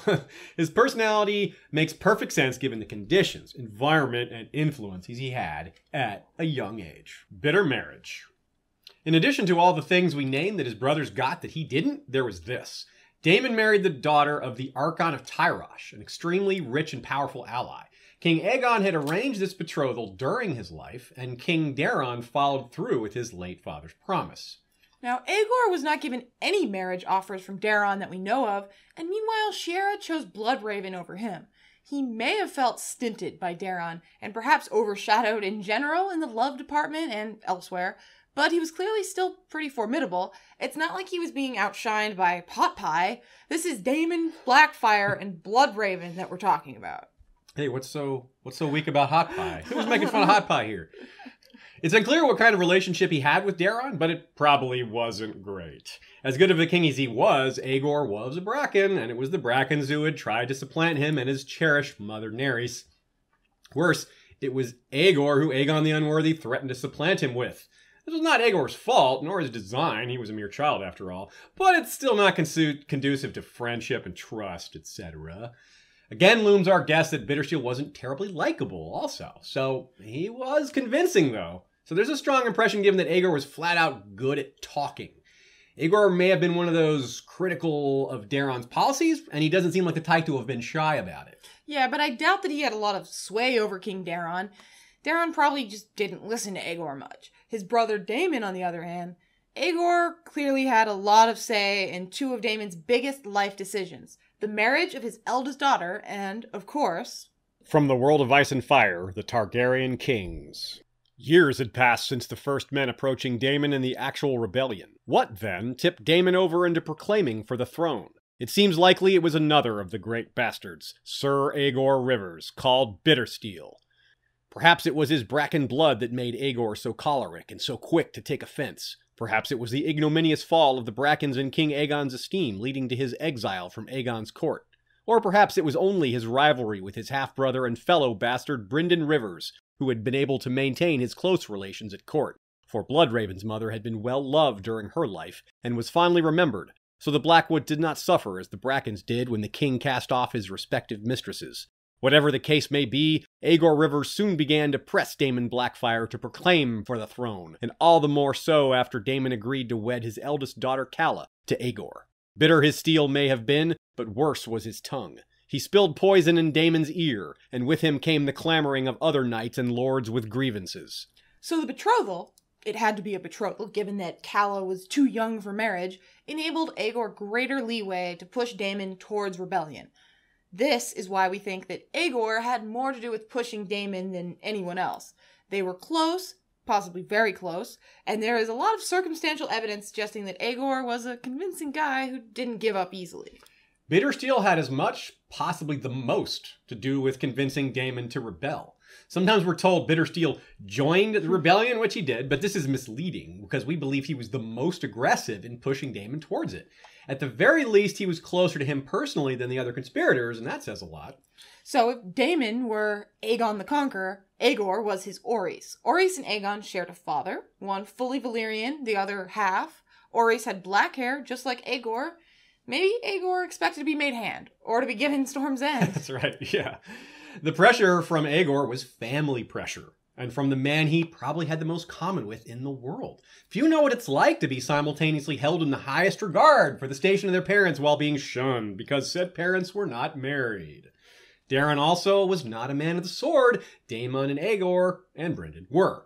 And that's an understatement. Having great genes and all the best training available will take you far, but there's a special kind of motivation that comes from that same royal bastard social dichotomy. The implied social message for the male great bastards was Westeros expects you to be great, but you'll always be second class. George says Daemon eventually came to resent his status as a bastard. And maybe that's in part because eventually Bittersteel was always there to point out the slights. Together, they may have commiserated on what it would be like to be given their due status. You can see why we think Aegor was the prime mover. And no one knows when the decision to rebel had been made, but as we do know, Bloodraven discovered the plan. Daemon was nearly captured, but did escape thanks to Fireball. We don't hear of Aegor being around. He may have already been making moves before the announcement of Daemon's claim, since it had already been decided that it would happen. His hated Blackwood bro- brother had interfered, and the stakes of their rivalry increased significantly. It wasn't over a woman this time, though. It was for the Iron Throne. Part 4 At Last Rebellion 196. Now, what followed, we've been over. There's no real need for us to re describe the entire First Blackfyre Rebellion or the Battle of Redgrass Field, but we can add a few more details from Bittersteel's perspective. Given Daemon's narrow escape from the Red Keep with it with the help of Fireball, when his plans to rebel were discovered, we're guessing Bittersteel was elsewhere, since he's not mentioned as part of it. Aegor at war. We would dearly love to know where he was when the rebellion broke out and what he did first. If he was at Stone Hedge, which is a pretty good guess, I suppose, we'll repeat a different guess that we made before that Bittersteel went straight for the nearby and loathsome Blackwoods. Now, I'd laugh my ass off if it turned out priority number one was returning Missy's teats to Barba's possession. the So- War of the Teats. Yeah. so we don't know where Aegor was, but we have a pretty good idea of what he looked like. George has given us a description of how Bittersteel dressed for war. His armor is well made but plain. No nonsense gray steel and black rings. His helm bears a horse-head crest with a horse's mane flowing down behind. Now, that sounds pretty badass. It's Hmm. not fancy, but with that helm and his height, he'd stand out a pretty good amount anyway, I would think. Yeah, me too. We'd also love to know which houses he rallied to the Blackfyre cause. Given his ability to convince and manipulate, he may have had a lot to do with bringing support to the Black Dragon. I suspect he was quite good at it. Daemon had the true charisma, and we're told men flocked to his banner, but the man couldn't be everywhere at once, and charisma doesn't work quite as well at a distance. But knowing how to play on common grievances, knowing how to spin conflict into injustice, there are other ways to go about it, to be sure. From Aegor's lips, King Daeron's reasonable treatment of Daemon may have been spun to look as bad as Mad King Aerys' worst. He could use every trick in the book, like a politician, telling them what they want to hear or what he knows will get a rise. We're speculating, of course, but these are small leaps, like assuming there's a fire because we see smoke. Bittersteel was also clearly a natural leader. The main leaders in the battle for the Black Side were Daemon himself, Lord Gorman Peake, who was from an ancient noble house, and Bittersteel. So, despite being a bastard and of far lesser rank than the kingly Daemon of or Lord Gorman, whose family held three, three castles, Sir Aegor Rivers was one of the men in charge. Think about how rare that is in Westeros. Men of rank and high standing very often cannot bear even the suggestion of being led by someone of lesser rank, let alone a bastard, legitimized or no. It's, and it becomes clear later that even despite his legitimization, and with Bloodraven and Daemon, people still, the bastard stigma hung over them all regardless. To make it more impressive, Aegor was only about 24 when he led the, the, the rear at the Red Grass Field. So this really speaks to what a strong personality he had. Aegor was probably pretty scary, an intimidating, intense persona, someone whose skills were respected despite lack of real experience. Again, like Stannis or say Randyll Tarly. Yeah, Quite a few reasons in play here to explain why he earned respect and not love. Men like Tywin Lannister are proof that charisma isn't the only way to win allies and followers. Thanks in part to the lessons of the Reynes and Tarbecks, the line of Lannister, whether seen at court or in the battlefield, is a sigil that commands respect and inspires fear. Dragon Horse. so, speaking of sigils and the things that they inspire, let's check out Bittersteels. We don't have any idea when he came up with it. He and probably his mother would not have wanted him to be plain amidst all of the heraldry and spectacle of the court, especially Daeron's, which again was perhaps the most diverse court ever seen to that point. But he was not a knight when he first came back to court, and squires typically don't have a custom coat of arms, and he may not have even been a squire. This sigil, which you can see here, uh, if you're especially even if you're listening on iTunes, if you're using the free Acast player, which I highly recommend because we've been putting visual goodies in even for people who get the audio only podcasts. This you can see here displays his dual Bracken and Targaryen heritage very clearly. I mean, look at that thing. It's so metal. it even looks angry like him. I can kind of imagine like he's telling the painter, you know, seven save you if the noble Bracken horse on my shield looks happy. He probably doesn't. He's probably uncomfortable saying the word happy. as random as it sounds, though, this sigil, you know, it actually makes me think of Daenerys getting married of all things. More specifically, when she rides her silver for the first time. This isn't foreshadowing, this isn't a hidden reference, it's just a strong similarity in imagery. I think it's really cool. From Daenerys 2, A Game of Thrones. As she turned to ride back, a fire pit loomed ahead directly in her path. They were hemmed in on either side, with no room to stop. A daring she had never known filled Daenerys then, and she gave the filly her head. The silver horse leapt the flames as if she had wings. Pretty cool, huh? Yeah, right? Yeah. So, here's some obscure trivia for you all. This is George R. R. Martin's initial idea for Bittersteel's sigil, and it was a lot simpler, as he told artist Amok here. His shield has a gray longsword displayed bendy sinister, with a black dragon's head above and a red horse's head below, both facing out. The field is white. And now later he told Amok, never mind, he had come up with something much cooler. Gotta agree. Much cooler. Dividing your mother and father's houses on a shield and just crosswise bendy like that, that's like the most standard thing you can do. It's like the khaki pants of sigil designs. The dragon yeah. horse is definitely better. Yeah, definitely, definitely. definitely. Mm-hmm. so, the mad charge. From the sworn sword. There was much and more afterward, I know. I saw a bit of it myself. The rebels running, Bittersteel turning the rout and leading his mad charge.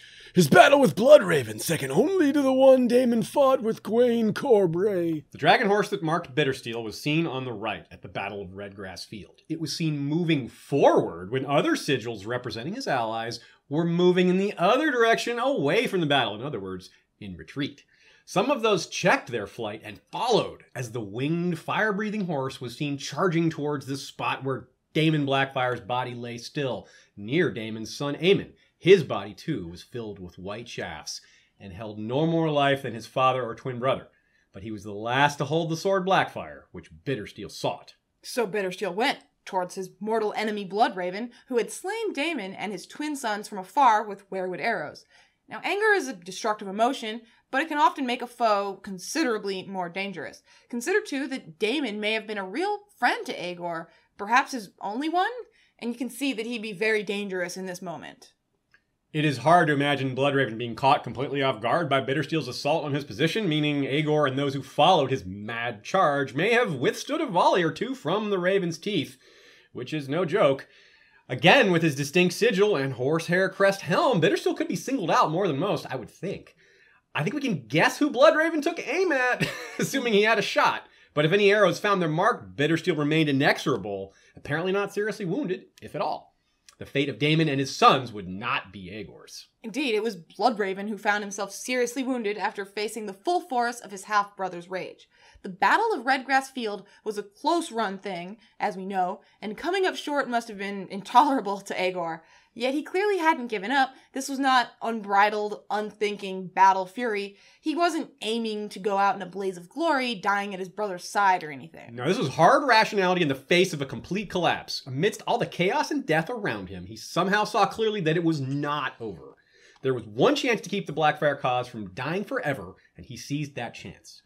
With quick thinking and anger fueled bravery, he turned a rout into a charge, turned a lost cause into a 60 year plus threat to the stability of the Iron Throne and House Targaryen, all while sticking it to his personal arch enemy, literally. Now, we don't know exactly how it played out, of course, but somehow Bittersteel recovered Blackfyre, fought Bloodraven at close quarters, and then fled when Baelor and Maekar pulled off the hammer and anvil ma- maneuver, crushing the rebel army. army.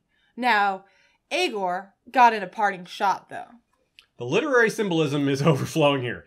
Bittersteel, defying the notion that the Black Dragon was over and done for, drove the symbol of the Blackfyre cause into Bloodraven's eye, emphatically declaring to his brother that this, this is far from over.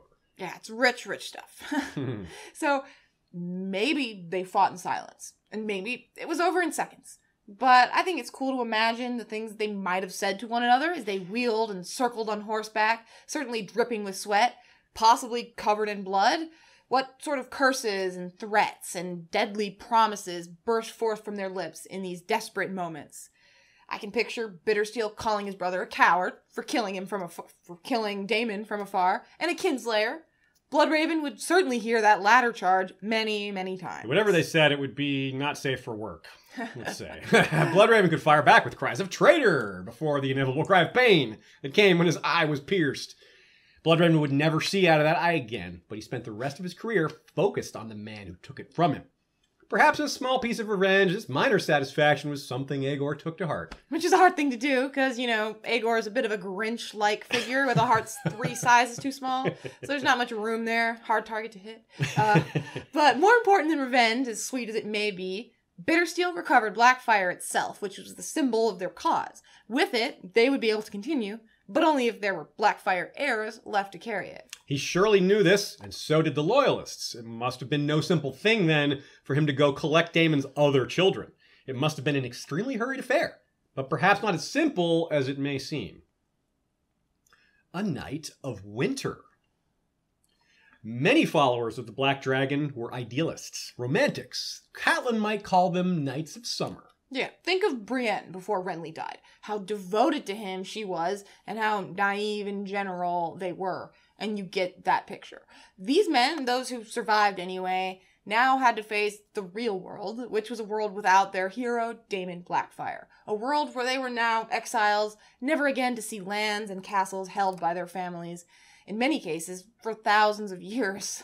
Consider that shame. Hundreds of members of your bloodline held your lands before you, and you're the one who lost it all.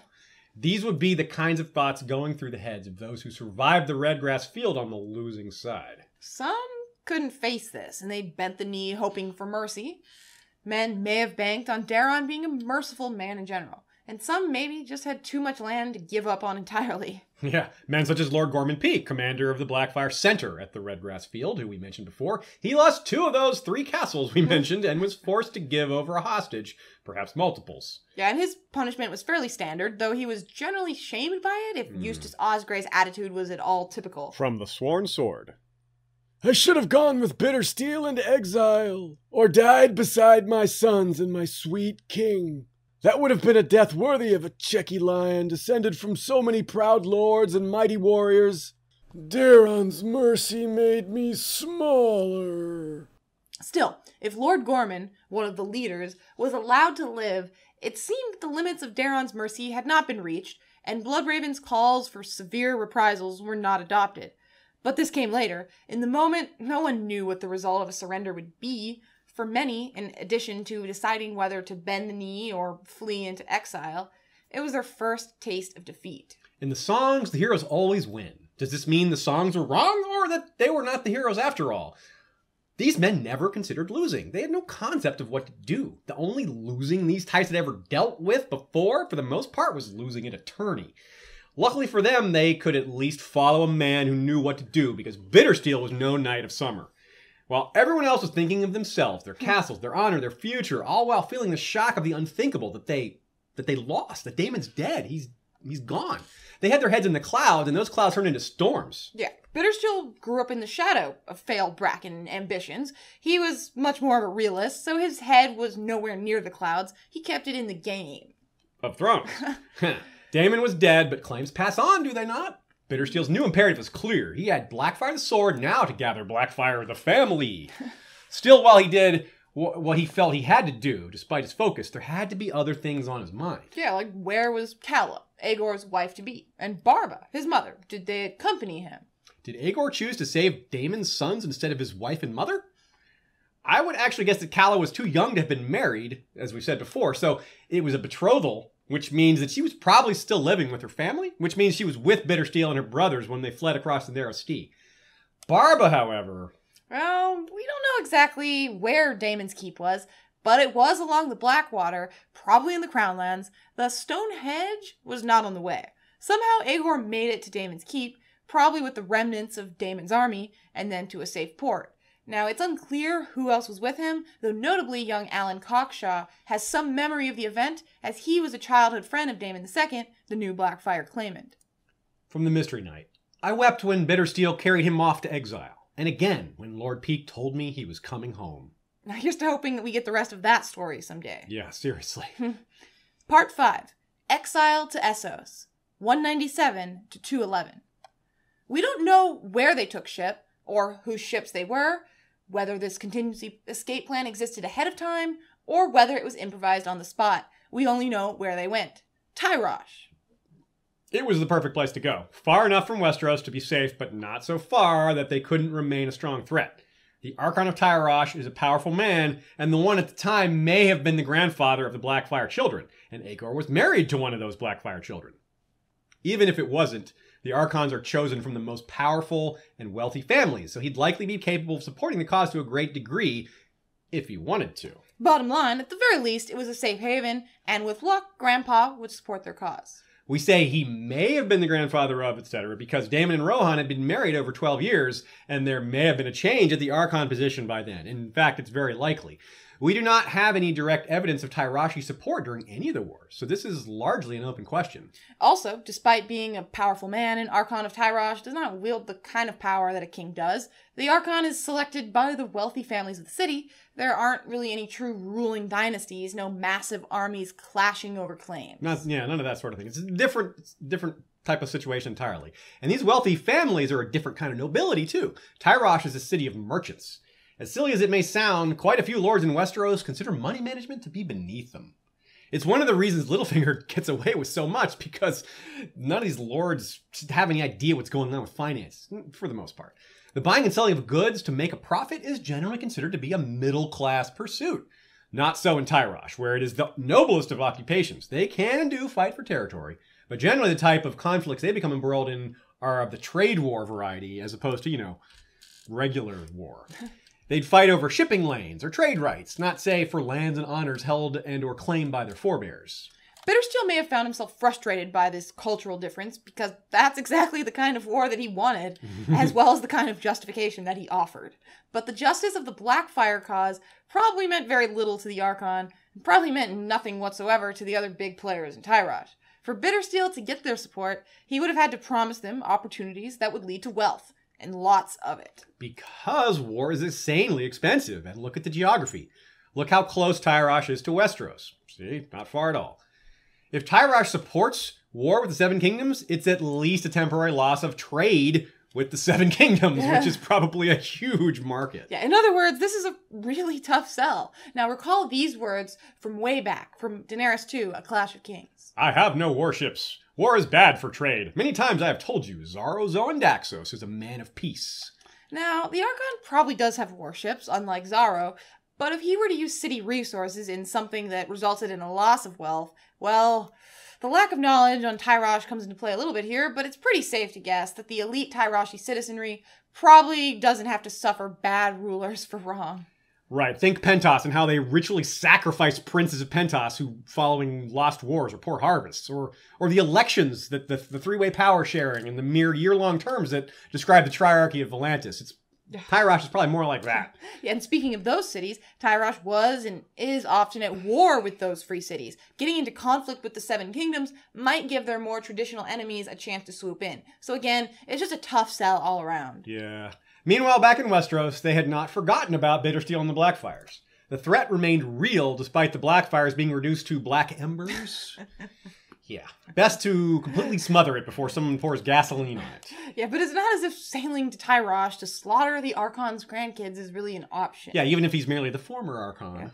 Nor would King Daeron really be likely to do such a thing were it an option anyway. I mean, sure, he faced an unjust rebellion, but he still remained a man of peace. Yeah, that's just who he was. Man of Peace looked for peaceful ways to resolve problems, and though this attitude had burned him in the past, it had also worked several times, perhaps more often than not. He probably considered the trade angle, and perhaps had emissaries sent to the Archon, gently reminding them of the implied cost of war. It wouldn't be a threat, it would be a rational argument based on bottom lines. Like, the Blackfyre cause will bring woe, not wealth. Mm-hmm. Something like that. However, Tyrosh was connected to the Blackfyre cause by blood, so they wouldn't want to lean too heavily on the lack of profit motive argument, just in case, if they even use that argument in the first place. Right, especially given that most of those in King Daeron's court, meaning most of those advising him, would think like Westerosi, not Tyroshi. This ties into those cultural differences that we were just getting at. It means that they would overvalue the blood connection, and that would cause them to worry. Hmm. Since straight up slaughter wasn't possible as a means to remove this threat, the next best option was to weaken it, and that was possible. So Daeron the Good did exactly that. As far as the Game of Thrones goes, this is a very smart move. Fight marriage with marriage. Yeah, it's the next best thing to fighting fire with fire. King Daeron married his grandson, Prince Valarr, to Kiera of Tyrosh. We don't know when it happened, but it was almost certainly during this interim period after the First Rebellion. It certainly happened well before Bittersteel founded the Golden Company, and before Bloodraven's ascent to Hand of the King, both of which we're still several years away from. Now, we also don't know Kiera's relation to Daemon's wife, Rohanne. They may have been sisters, but just as easily, Rohanne's father could have died during this time, and Kiera's father could could have been the new Archon without any blood tie- ties at all to the Blackfyres. Yeah, either way, she must have been very important, considering who she married. Right. Prince Valarr was no random extra Targaryen male. He was second in the direct line to the throne behind his own father, Baelor Breakspear. So, Kiera of Tyrosh was married to a man who would eventually inherit the Iron Throne, assuming that he outlived his grandfather and father. I mean, he didn't, as it turned out, but that's another story. Right, the point is that it shows how important this marriage was. Yeah. After Valarr's death in 209, Kiera was remarried to another Targaryen high, though not nearly as high, uh, in the line of succession. Now, this is not the first time the Targaryens took a bride from the free cities, but it's still a pretty unusual thing. Yeah, power politics generally dictate making marriage alliances within the borders of the Seven Kingdoms. So Tyrosh was indeed a safe haven, but it doesn't look like Aegor could get anything more than safety. Maybe there's more, we're just not aware of it. We're not sure if the Val- Valarr Kiera marriage was a major blow to the Blackfyre cause or if things were already fading fast anyway. Perhaps the marriage was just a way for the Iron Throne to play it safe. Yeah, and it's also possible that King Daeron made other moves to check what Aegor and his fellow exiles were doing. Yeah, perhaps they tried to influence the elections. That's a suggestion Yeah. from Stephen Atwell. I like that idea. Yeah. Or maybe they just tried to influence certain policies. Who knows? It's things like that. Now, you might be getting sick of this comparison, but we're gonna go there again. this quote comes after Pycelle hears that Stannis has sailed away from Dragonstone, and he assumes that the Manus is gone for good. Jaime 9, A Storm of Swords. Did you turn into an utter fool when Tyrion shaved your beard? This is Stannis Baratheon. The man will fight to the bitter end and then some. If he is gone, it can only mean he intends to resume the war. You can't blame us for using that quote. It's got the word bitter in it. Seriously, though, Tywin's take on Stannis is exactly how I imagine Bloodraven descri- describing the threat that remained in Bittersteel. A lot of the nobility looked at the situation and probably thought Bittersteel was nothing to worry about. Daemon's other children were very young. Bittersteel really tried to place a child on the throne? Should we really be all that concerned if he does? Men won't rise for a child king, etc., etc. But looking at bottom lines, just like Tywin was correct, so was Bloodraven. Bittersteel was basically starting from scratch, but neither his determination nor his ability were to be despised. Though he didn't get the support he might have wanted from Tyrosh, he was neither out of options nor allies. Yeah, by then he would have married Calla Blackfyre, possibly had children with her. If so, well, that's again another story, but we don't ever hear of them. Male children of his you'd think would fight in the later rebellions, but there's no word of that. If they weren't fighters, perhaps he tried to marry them to some other daughter of Daemon. Female children of his, you'd expect him to try to marry Daemon's other sons or grandsons, or to import an exile house. Given time, he'd be a threat again, either way. And sure enough, that's what happened. But it took a long time, and quite a few things happened during that span. We don't know what those things were, however. we only know that Bittersteel, the sons of Daemon Blackfyre, and the other exiles remained enough of a threat to warrant attention, somehow. Later events would prove Bittersteel still had friends at court, but friends at court couldn't address one of the major issues preventing a second attempt at the throne. From the Mystery Knight. Those rebels who survived and bent the knee were pardoned, but some lost land, some titles, some gold. All gave hostages to ensure their future loyalty. The exiles alone would not be enough. They would need former allies to rise again. But clearly, they were forestalled by this hostage situation. From the end of the war in 197 all the way to 209, that's where the balance of power li- lied. This was the situation. Yeah, as long as King Daeron had hostages, no plan made by mortals would do. Plans made by the gods, though, hmm. that'll cut it. Hmm. the Great Spring Sickness. To compound the hostage problem, Daeron's heir Baelor Breakspear was a popular man. Sure, he didn't look like a Targaryen, he looked Dornish, hmm. but he was handsome and wise and honorable, and perhaps best of all, in terms of Westeros, a war hero. But he died in 209, well before his time. From the Blackfyre point of view, this by itself was significant, but hardly enough. After all, the Targaryen line was strong even without him, plus Baelor's sons were impressive, and so was his brother Maekar, who had sons of his own. The gods seemed to favor Daeron's line indeed, despite snatching the prince named for the Targaryen who honored the gods most of all. There would be no Baelor II, and though the realm would mourn, it would otherwise continue on as it had. Later in the year, however, From the world of ice and fire, the Targaryen kings. Then the great spring sickness swept the seven kingdoms, affecting all save the Vale and Dorne, where they closed the ports and mountain passes. Worst hit of all was King's Landing. The High Septon, the Seven's voice on earth, died, as did a third of the most devout and nearly all the Silent Sisters in the city. Worse still, the sons of Baelor Breakspear were among those carried away, as was Daeron II, whom many called the Good. He had reigned for five and twenty years, and most of those years saw peace and plenty for the realm. in less than a year, the four Targaryens at the top all died. Six, if you count the stillborn sons that Kiera bore at some point. We're not exactly sure when that was, but either way, the throne passed all the way down to Aerys, now Aerys First. He inherited a realm in the midst of a crisis, and he was probably not suited to be king under normal circumstances. Perhaps as many as one in five people on the entire continent died, with something like 40% dying in King's Landing. That's quite staggering. Bittersteel's kin were touched as well. The Lord Bracken of this era may have been the same one who went to Myr to hire crossbowmen for Daemon Blackfyre, only to be delayed by storms, missing the Redgrass Field. Regardless, Lord Bracken of 209 survived the Great Spring Sickness, but his heir died. I suspect his heir was at King's Landing as one of those hostages. From the Mystery Knight. Many of us had sons and daughters taken to King's Landing to vouchsafe our future loyalty, but most of the hostages perished in the great spring sickness. Our hands are no longer tied. Our time has come. Aerys is weak, a bookish man, and no warrior. The commons hardly know him, and what they know they do not like. His lords love him even less. His father was weak as well, that is true, but when his throne was threatened, he had sons to take the field for him Baelor and Maekar, the hammer and the anvil.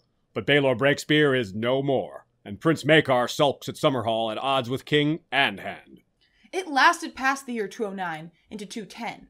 Sir Eustace Osgrey lost his daughter in this matter. She was a hostage, and it sounds like Lord Gorman lost his heir to it as well. He says many of us, and that would explain a lot. The loss of his son might have been part of why his plotting was optimistic to the point of recklessness. And if we truly take the hostage idea all the way, if we really think it through, take Lord Bracken's heir. Yes, of course, that's that's obvious. But wouldn't the throne take a hostage to check Bittersteel personally as well, if possible? Surely the need wouldn't have escaped King Daeron, and Bloodraven would be there to remind him just in case.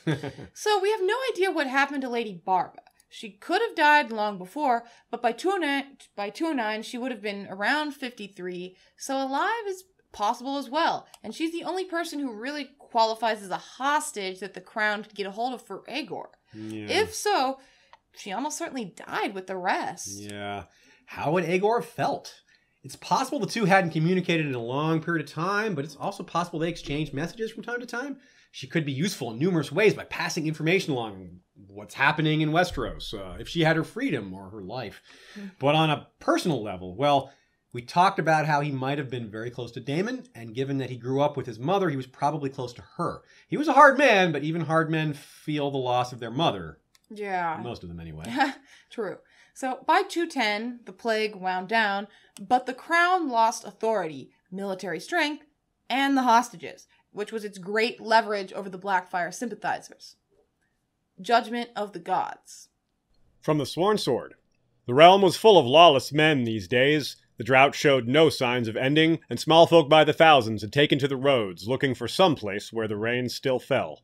Lord Bloodraven had commanded them to return to their own lands and lords, but few obeyed. Many blamed Bloodraven and King Aerys for the drought. It was a judgment from the gods, they said, for the kinslayer is accursed.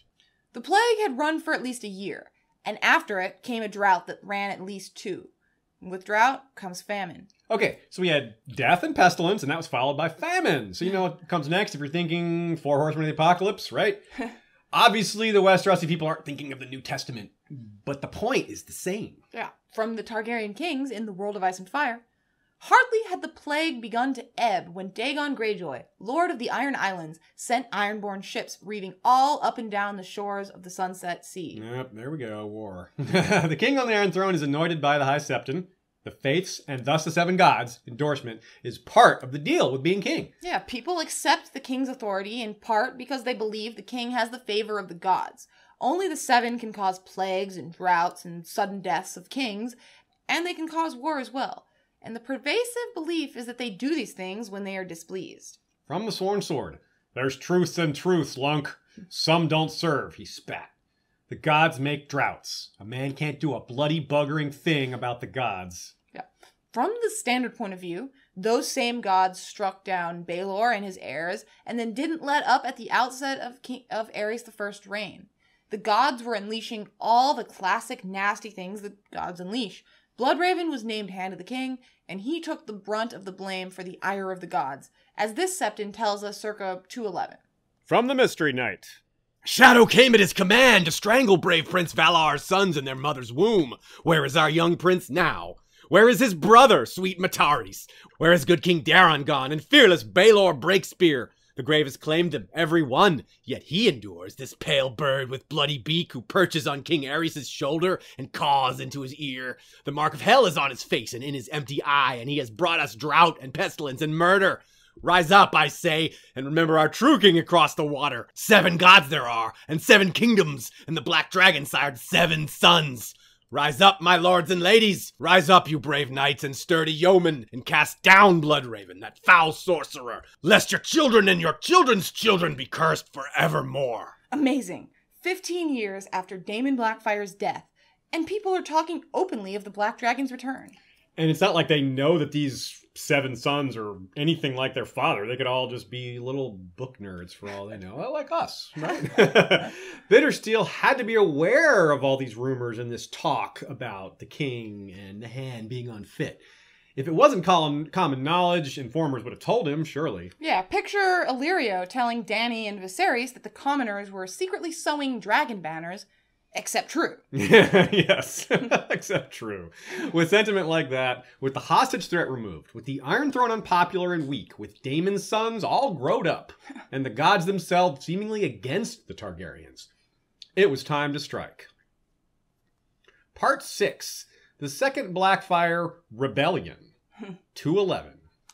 Daemon was a warrior king whose claim to the throne was in part due to his famous sword. Not only would a child not do, they needed to answer this question put to Lord Gormon by key conspirator Black Tom Heddle. Is the boy his father's son?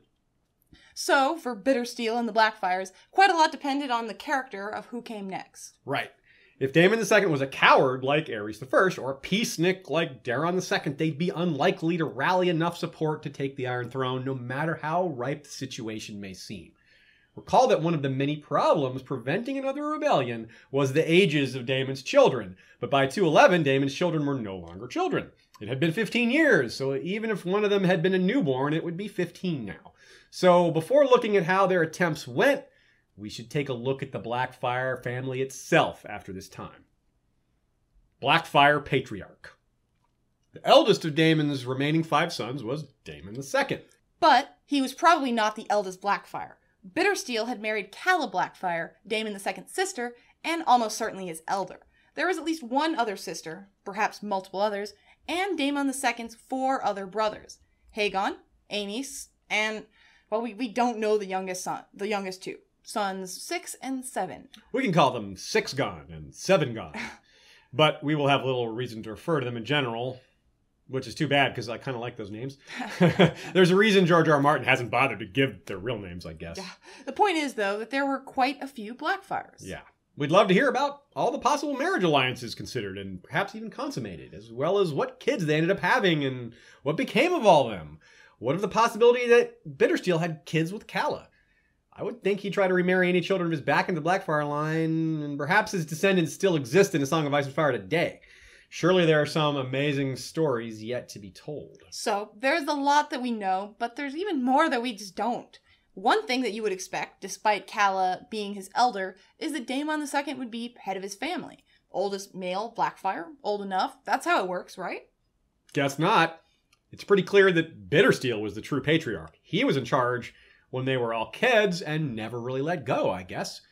Rohanne of Tyrosh, the mother of all Blackfyres, may have had considerable influence as well, but we just don't know. We don't have anything to go on with her. Like, she may have been dead by this time. Yeah, she may have clashed with Aegor a bit, or maybe backed him. Who knows? It would be pretty interesting to know what she thought of her daughter's marriage to Aegor in the first place.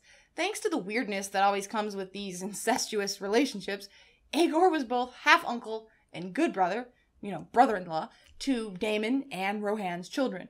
You know, incestuous exile family? I think that they needed their own wacky sitcom. Incestuous exile family. you can the theme song writes itself. Uh, though it could have been another of the exiles, I wonder if Bittersteel trained Daemon's sons at arms himself. That's a cool idea. this is where he really reminds me of Jon Connington, right? An exile in Essos, great commander and warrior, trying to seat his son of a close friend of his on the Iron Throne, raising that son from a young age.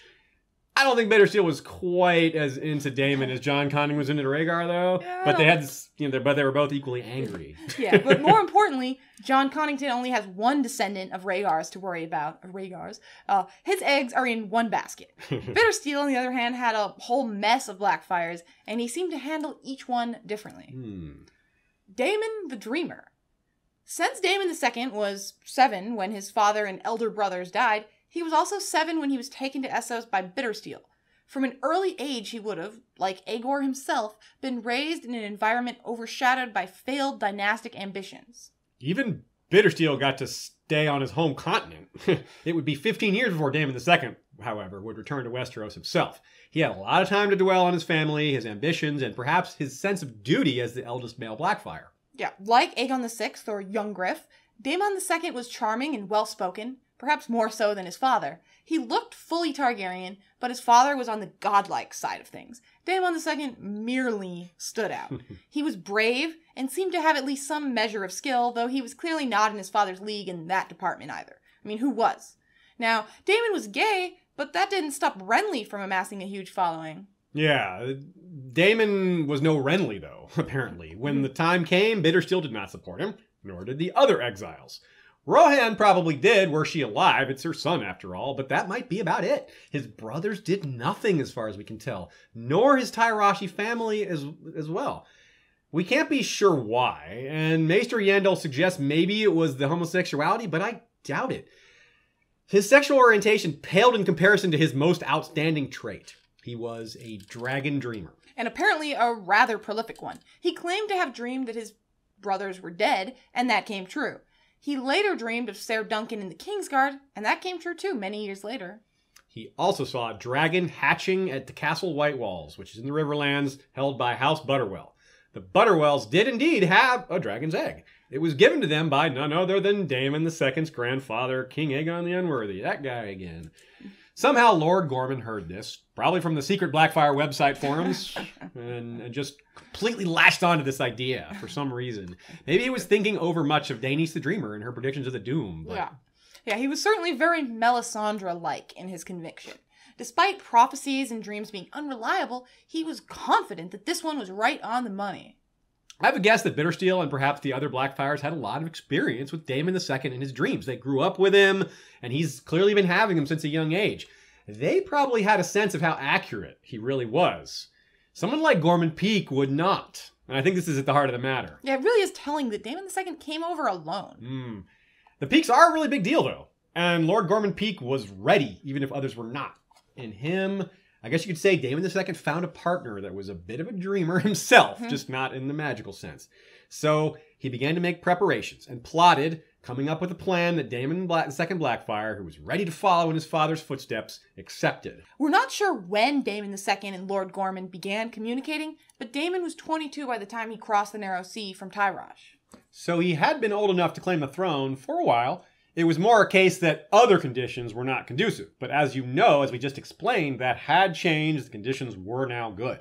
Daemon crossed the narrow sea, met up with the man he called Gormy, and set their plan into motion. The tourney at White Walls. From the world of ice and fire, the Targaryen kings. The conspiracy came to a head in 211 AC at the wedding tourney at White Walls, the great seat that Lord Butterwell had raised near the God's Eye. This was the same Butterwell who had once been Daeron's hand until the king had dismissed him in favor of Lord Hayford because of his suspicious failure to act successfully against Daemon Blackfyre in the early days of his rebellion. At White Walls, under pretense of celebrating Lord Butterwell's marriage and competing in the tournament, many lords and knights had gathered, all of whom shared a desire to place a Blackfyre on the throne. At last, the Blackfyres made another attempt at the throne. At last, they were ready. At last, they had a plan. But it was a crappy plan for many, many reasons. So, as much as we can suggest that Daemon II's shortcomings were part of the problem facing the Second Rebellion, a lot of the potential rebels may have stayed home because they just thought the plan was bad. They turned out to be wise, like Bittersteel, who again was not there. And didn't Gor- Lord Gormon see how much that would be a problem for Daemon II? From the Mystery Knight. Beggar's feast you've laid before us without bitter steel. Bittersteel be buggered, insisted a familiar voice. No bastard can be trusted, not even him. A few victories will bring him over the water fast enough. Lord Gormon is simultaneously downplaying the need for Bittersteel while also suggesting that he'll show up eventually. He's kind of saying, we do actually need him, but not right away. They intended to cause a spark, then a fire, with more joining their cause as the flames of their rebellion spread. Even if Bittersteel didn't come right away, surely if this happened, he would. Once we have Butterwell's gold and the swords of House Frey, Harrenhal will follow, then the Brackens. That's from the Mystery Knight. And that was terribly optimistic. to make it worse, not only did he and Daemon II lack Bittersteel, they lacked Valyrian steel. That's right. Daemon II should have owned Blackfyre by rights. It had been his father's after all. What could be more obvious? So here's perhaps the best proof that Bittersteel was in charge. Daemon II crossed without the family sword. You know, that may have been a pretty interesting conversation, or an ongoing conversation. Daemon may have had some interesting arguments with Uncle Aegor, period. Now, here's where Bittersteel feels a bit like Randyll Tarly, telling Sam to his face that he's not worthy of the family blade. And, also like Sam, part of this reason may have been his brother. Just as Sam was deemed unworthy next to Dickon, Bittersteel may have greatly preferred Daemon's younger brother, Haegon, who would indeed wield Blackfyre later. But we're not there yet. Hmm. It's also possible Bittersteel may have actually been fine with Daemon II in general, despite the dreams, despite the other stuff. Perhaps it was just Lord Gormon's plan he hated, which I could see because, man, it was a terrible hmm. plan. Whatever Bittersteel's reasoning regarding Blackfyre was when Daemon II did arrive in Westeros, the bottom line was that he didn't have the sword, and that surprised many. Here's Black Tom Heddle again, and he's expressing doubt to Lord Gormon Peake. From the Mystery Knight. Old Milkblood had expected the boy to have it, and so will all the rest. Glib words and charm cannot make up for that. A dragon would. The prince insists the egg will hatch. He dreamed it just as he once dreamed his brother's dead. A living dragon will win us all the swords that we would want. This quote tells us a lot. There's the revelation that Bittersteel controls the sword, which may not have been a surprise to the rebels. The surprise was that Daemon II didn't have it. Black Tom points out that the lack of the sword is a big problem. The other rebels will expect it, and their morale may drop considerably or altogether. But Lord Gormon just isn't hearing it. He thinks a hatched egg will make up for Blackfyre, and Daemon II winning the tourney will be sufficient to convince other prospective rebels that Daemon II is his father's son. Yeah, it's clear that Lord Gormon is relying really heavily on Daemon II's dreams. He really expected that egg to hatch, it seems, or at least thought it was very, very likely. Daemon II himself didn't seem to have any doubts at all. This is the same kind of optimistic interpretive error that Melisandre makes repeatedly again. Yeah, it's seeing what they want to see, that whole mm-hmm. thing. They were right that so many of the conditions in Westeros favored rebellion, but they were also glaring holes in their plan, and they filled them with dreams. Holes can't be filled with dreams. imagine if the egg really did hatch. Just imagine if the dream was accurate. It would be impressive, and no doubt that would win them some support. But not if it dies, and it surely wouldn't be much use in a fight for a long time, as we've learned quite well through Dany's point of view. Well, the rebels wound up hatching hatchlingless and surrounded by a loyalist army, and since this was a tourney, none of the gathered lords had very many men with them. From the Mystery Knight. The first Blackfyre Rebellion had perished on the red grass field in blood and glory. The second Blackfyre Rebellion ended with a whimper. They cannot cow us! Young Daron proclaimed from the castle battlements after he had seen the ring of iron that encircled them. For our cause is just. We shall slash through them and ride hellbent for King's Landing. Sound the trumpets!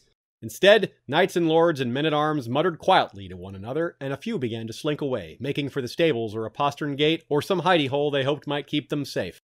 And when Daemon drew his sword and raised it above his head, every man of them could see it was not Blackfyre. We'll make another red grass field today, the pretender promised. Piss on that, fiddle boy! A grizzled squire shouted back at him, I'd sooner live. Most did, even some of those caught for the second time, but not Lord Gormon. As bad as it went, and as predictable as the failure was, really, it's no surprise that Bittersteel and company didn't get involved. But they would suffer nonetheless from this failure. Stains of the Brown Dragon. the Brown Dragon! Someone shouted. Laughter rippled through the yard as the dawn washed over White Walls. Hmm. The men Peake and Daemon II were counting on as staunch allies wound up laughing. That's a far cry from what Daemon II's father inspired from his followers. In fact, it's pretty much the opposite. Surely the laughter spread. The whole realm would learn of this joke. It is still special, though, from a meta perspective. The second Blackfyre Rebellion stands out as the only one we see firsthand, in the Mystery Knight, of course. Not exactly what you think of when you hear the word rebellion, though, huh? it was rather an aborted attempt at such that ultimately wound up in the mud. Literally. It was a miserable failure without a single loyalist slain. Wait, there was that guy that bragged about spying for Bloodraven, and that earned him a slit throat from a knight of House Costayne. So, one loyalist was slain? This one kill was around 15 years after the Redgrass Field, which is not exactly making progress. Yeah, at that rate, they'll. Yeah. Here's what Bittersteel was now faced with 15 years to prepare, and this was the best that they could do. It reflects terribly on their cause. And he knew it would fail, but he might not have expected Daemon II to live. This became a huge problem, as Bloodraven himself tells us. From the Mystery Knight Daemon has four younger brothers and sisters as well. Should I be so foolish as to remove his pretty head, his mother will mourn, his friends will curse me for a kinslayer, and Bittersteel will crown his brother Haegon. Dead, young Daemon is a hero. Alive, he is an obstacle in my half brother's path. He can hardly make a third Blackfyre King, whilst a second remains so inconveniently alive. A better hostage than any of the ones the crown lost to the Great Spring Sickness. Of course, they didn't stop there. The ranks of the rebel hostages were fully replenished. Furthermore, one of the major sources of Westerosi support, House Peake, had a change of leadership. Lord Gormon lost his head, and despite his terrible plan, he was a valuable ally. Other lords who might have joined the Black Dragon would not be slow to take the lesson of this man's fall. All in all, it was a huge setback. Yeah, Bittersteel must have been really pissed. Very much so. Gotta Yeah. agree. Yeah. So, this is the end of our episode now. So, what then? Did Bittersteel just give up and pack it in? Was this the final straw? If you even entertain the idea of saying yes, I suggest you restart this episode from the beginning. Despite those losses, they still had Blackfyre, four more sons of Daemon, and a large group of exiled lords. None of that had been lost or even risked. Yeah. There was indeed a third and fourth Blackfyre Rebellion, and then the War of Nine Penny Kings, and there's possibly still Blackfyre blood in A Song of Ice and Fire, whether in Aegon VI, Illyrio, Serra, Varys. Hmm, that's still yet to come, those ideas. This episode is winding down, but our coverage of Bittersteel is not. The next episode will center around his next great move, the Golden Company, and plans made by him, not foolish dreamers. I pointed at myself when I said him. and more on Aegor himself. At this point, he's only about 39 to 40, and he lived at age 69. So there is plenty more to this story, which is great because, damn, if he just isn't a really cool character, and we love telling the story. we don't just love him because he's a perpetual underdog. He's also another example of the richness of the setting, of Martin's ability to make the history. Do of- not prate at me of history, sir. Daemon Blackfyre was a rebel and usurper, better still, a bastard. When he fled, he swore he would return to place a son of Daemon's upon the Iron Throne. He never did. Words are wind, and the wind that blows exiles across the narrow sea seldom blows them back. Okay, okay. Sorry, Stannis. We hear you. We hear you. But you're wrong. He did return, and the idea of a Blackfyre king sitting on the Iron Throne? Well, that's a big part of why this story is so important.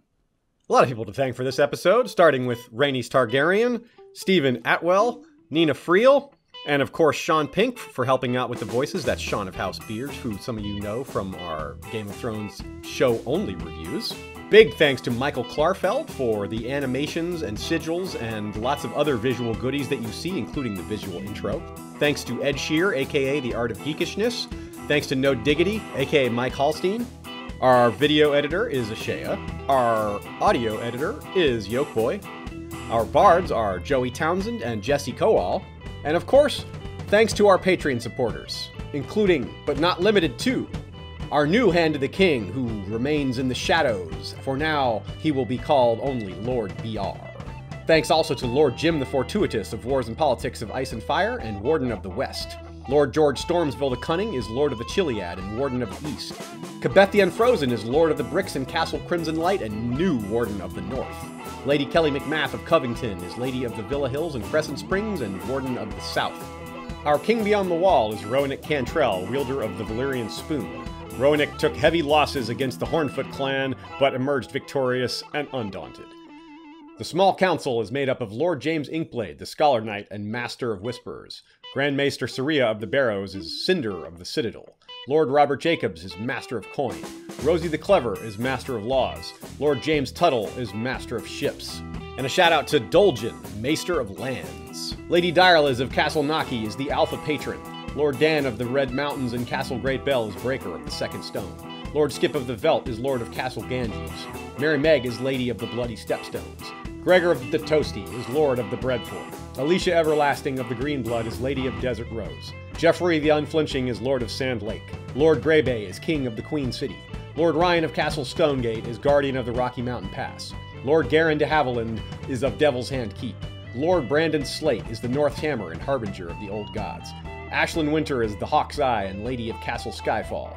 Lady Mikkel of Moonacre is leader of the Werewood Protectorate Alliance. Lady Cauchon Volant is of Swine Harbor. Lord Barone of Hillcrest is Lord of the Halls and wielder of the Valyrian steel machete Everblazed. Lord Alistair Whitaker is Lord of the Dawnhold. Lord Bemmy Snugglebunny of the Wolfswood is holder of the Vorpal Snugglebunny. And Lord Grayson Aurelius is the Crimson Angel, Lord of Hell's Caliber. Also, King's Justice Sir Troy the Steady is wielder of the Valyrian steel blade Fate. Our King's Guard is commanded by Lord Commander Dubbington, the Red Bear. The History of Westeros Night's Watch is led by Lord Commander George the Golden, First Ranger Fabian Flowers, the Bastard of Greenshield, First Builder Liana Kelly, the Lady of Steelhold, and First Builder Patchface of Motley Wisdom. And thanks to everyone for listening and sharing the show with your friends. We'll be back again soon with another episode. Until then, Valar Morghulis.